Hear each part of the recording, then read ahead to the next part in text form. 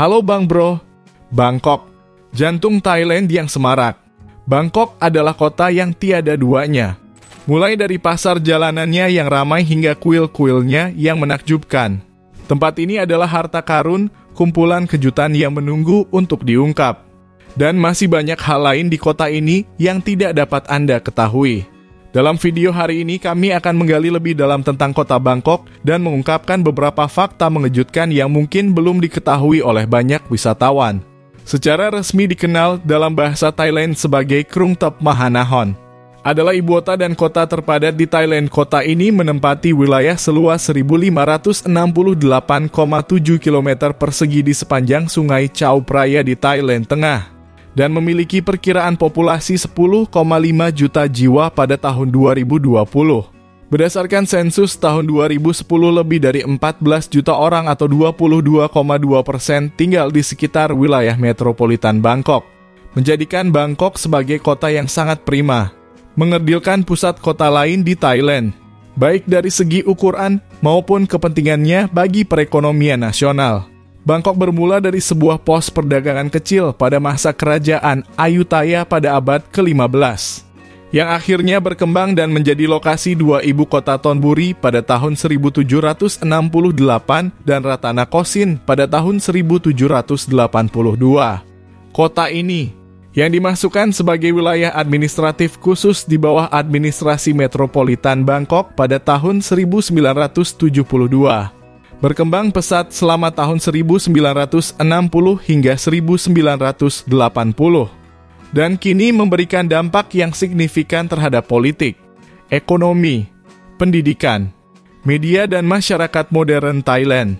Ledakan investasi Asia pada tahun 1980 dan 1990 menyebabkan banyak perusahaan multinasional menempatkan kantor pusat regional mereka di Bangkok. Kota ini kini menjadi kekuatan regional di bidang keuangan, bisnis, budaya pop, pusat transportasi, layanan kesehatan internasional, dan telah berkembang menjadi pusat seni mode dan hiburan. Kota ini terkenal dengan kehidupan jalanan dan lemak budayanya, serta distrik lampu merahnya, Istana Agung dan kuil Buddha termasuk Wat Arun dan Wat Po yang berdiri kontras dengan tempat wisata lainnya seperti kehidupan malam di Jalan Kaosan dan Pat Pom. Bangkok adalah salah satu tujuan wisata utama dunia dan dinobatkan sebagai kota yang paling banyak dikunjungi di dunia secara teratur dalam beberapa peringkat internasional. Pertumbuhan pesat Bangkok ditambah dengan sedikitnya perencanaan kota telah mengakibatkan pemandangan kota yang serampangan dan infrastruktur yang tidak memadai meskipun terdapat jalan tol yang luas. Tetapi jalan raya tetap tidak memadai dikarenakan penggunaan mobil pribadi dalam jumlah besar telah menyebabkan kemacetan lalu lintas yang kronis dan melumpuhkan, yang menyebabkan polusi udara yang parah pada tahun 1990. Kota ini kemudian beralih ke angkutan umum dalam upaya memecahkan masalah tersebut. Dengan mengoperasikan 8 jalur kereta api perkotaan dan membangun angkutan umum lainnya tetapi kemacetan masih menjadi masalah umum. Bangkok juga menduduki puncak daftar tujuan wisata terpopuler di dunia. Dengan pemandangan dan kehidupan kota Bangkok yang beragam, menarik beragam kelompok wisatawan. Kota ini juga terkenal dengan kehidupan malamnya yang dinamis. Meskipun wisata esek-kesek di Bangkok terkenal di kalangan orang asing, Hal ini biasanya tidak diakui secara terbuka oleh penduduk setempat atau pemerintah. Bangkok mempunyai reputasi di luar negeri sebagai tujuan utama industri esek-kesek. Prostitusi secara teknis ilegal dan jarang dibahas secara terbuka di Thailand.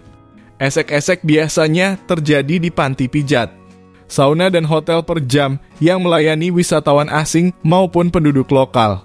Karena itulah Bangkok mendapat julukan kota dosa Asia karena tingkat wisata esek-keseknya.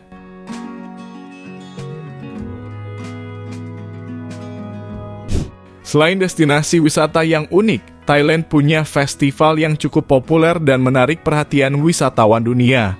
Namanya adalah Festival Songkran. Festival Songkran adalah perayaan Tahun Baru Thailand Umumnya diadakan setiap tanggal 13 April sampai 15 April. Buat kamu yang masih asing dengan festival Songkran, berikut kami berikan beberapa daya tariknya. Daya tarik Festival Songkran Thailand Songkran Festival adalah salah satu perayaan di Thailand. Salah satu perayaan dengan hari libur panjang, ini merupakan bentuk perayaan Tahun Baru Thailand yang terlaksana setiap tanggal 13 sampai 15 April.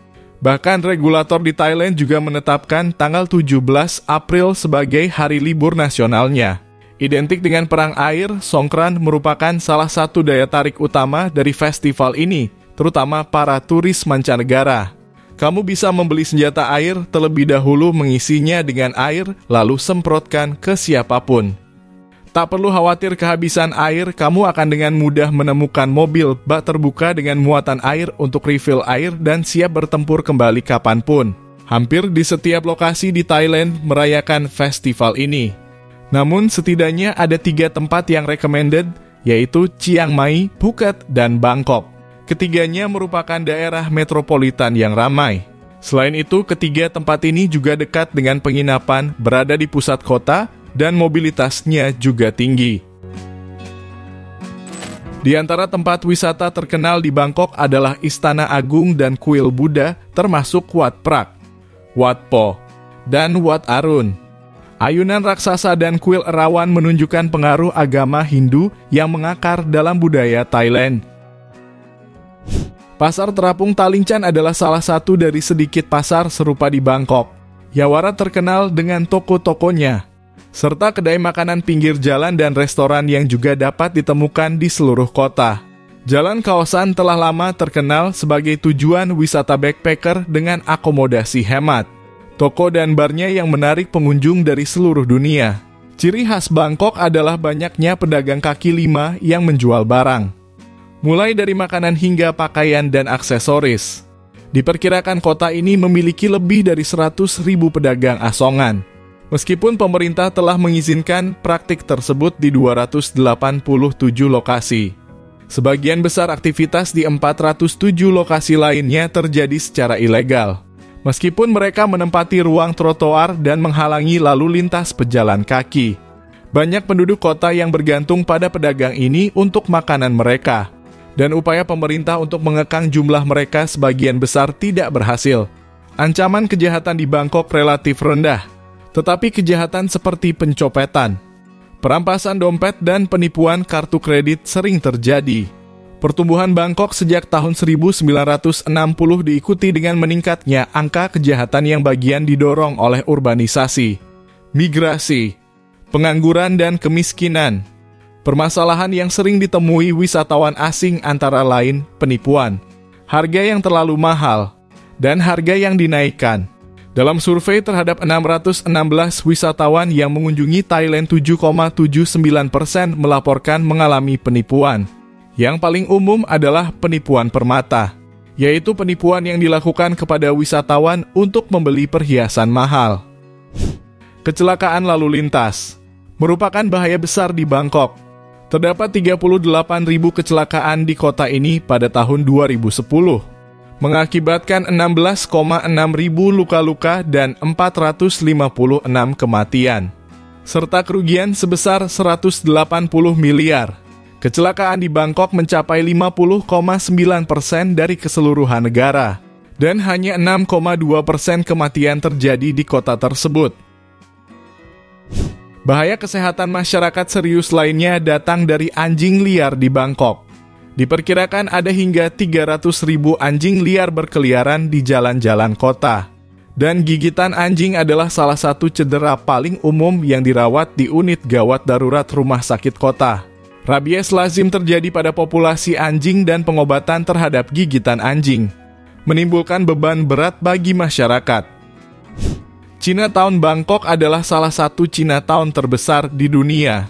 Didirikan pada tahun 1782, ketika kota ini ditetapkan sebagai ibu kota kerajaan Ratanakosin dan menjadi rumah bagi sebagian besar penduduk imigran Tionghoa Teochew yang segera menjadi kelompok etnis dominan di kota tersebut. Awalnya berpusat di sekitar Sampeng. Pusat pecinan kini terletak di sepanjang Jalan Yawarat. Saat ini Jalan Yawarat dikenal oleh wisatawan dunia sebagai sumber jajanan kaki lima yang populer. Terdapat restoran di dalam gedung dan restoran kaki lima yang didirikan di sepanjang jalan. Dengan kata lain, ada berbagai macam hidangan internasional yang bisa dipilih, dan berbagai makanan penutup, serta pasar yang menjual makanan segar. Di sini juga terdapat toko yang menjual pakaian khas Cina yang berwarna-warni. Selain itu, Jalan Yawarat adalah tempat diadakannya perayaan Tahun Baru, Imlek, dan Festival Vegetarian. Selain itu, di jalan ini juga terdapat situs keagamaan dari banyak agama. Misalnya Buddha Terfada Mahayana, Kristen, Muslim, dan tempat suci Dewa Tiongkok. Termasuk banyak bangunan tua dengan arsitektur yang indah. Thailand memperlakukan waria dengan sangat hormat. Mereka tidak membeda-bedakannya tapi juga merancang toilet khusus untuk mereka. Thailand memperlakukan ladyboy dengan toleransi 10 poin, dan hanya segelintir orang yang tidak bisa menerimanya. Waria biasanya pergi ke toilet wanita, dan mereka tidak pergi ke toilet pria. Tapi sekarang mereka pergi ke toilet eksklusifnya. Di Thailand, ladyboy adalah kelompok yang besar. Demi kelompok ini, khusus dibangun toilet warna ungu di tempat umum dan wisatawan sangat memahaminya. Setelah melihat tanda yang ada dan tidak akan masuk sesuka hati. Secara umum Thailand bebas dari kerumitan. Namun wisatawan sering kali dikenakan harga yang mahal untuk naik tuk-tuk dan naik taksi tanpa argo. Sebaiknya tanyakan kepada penduduk setempat berapa biaya perjalanan dan gunakan itu sebagai tolak ukur tarif yang adil. Lokasi-lokasi wisata utama merupakan tempat pengintaian yang populer bagi taksi dan calo yang akan mencoba mengarahkan Anda ke toko souvenir yang meragukan kantor wisata palsu. Dan tempat menginap kelas 2 di mana Anda pasti akan membayar lebih untuk menutupi komisi mereka. Jangan percaya kata-kata supir taksi jika mereka mengatakan suatu atraksi atau lokasi tutup pada hari itu. Seringkali mereka menggunakan taktik ini untuk mencoba menyarankan tujuan lain yang memberi mereka komisi. Jika ragu, ucapkan terima kasih atas informasinya dan tanyakan kepada pengemudi lain. Saat Anda berjalan-jalan di Bangkok, terutama di dekat Grand Palace, Anda mungkin didekati oleh penduduk lokal yang tampak ramah dan menanyakan tujuan Anda. Ketika Anda memberitahu mereka tujuan Anda, mereka akan berkata, "Oh, hari ini tutup atau Anda tidak berpakaian pantas untuk masuk." Dan kemudian menawarkan untuk membawa Anda ke atraksi lain. Mereka berbohong karena mereka ingin bertindak sebagai pemandu wisata Anda yang sangat mahal. Abaikan saja mereka dan lanjutkan perjalanan Anda ke tujuan awal Anda. Orang-orang Vietnam tidak mengantri daripada mengantri warga Thailand, malah membentuk kerumunan. Makanlah mangga sebanyak mungkin saat Anda bepergian ke Thailand. Mangga di Thailand adalah yang paling enak di dunia. Jika Anda memilih untuk membawa dompet, pilihlah tas selempang dan kenakan di depan tubuh Anda. Jika Anda lebih suka menyimpan barang-barang berharga di saku, sebaiknya pilih celana pendek atau celana dengan saku yang kancingnya tertutup dan selalu simpan paspor Anda dengan aman di kamar hotel Anda.